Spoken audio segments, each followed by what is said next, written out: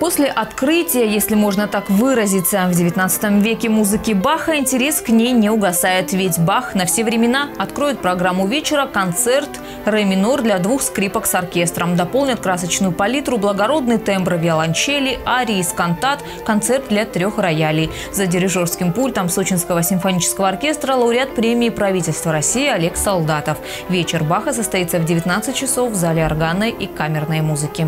Ну, действительно, гений, э, который, наверное, и не предполагал, что мы в 21 веке, э, в эру высоких технологий, будем с таким трепетом относиться к этой музыке.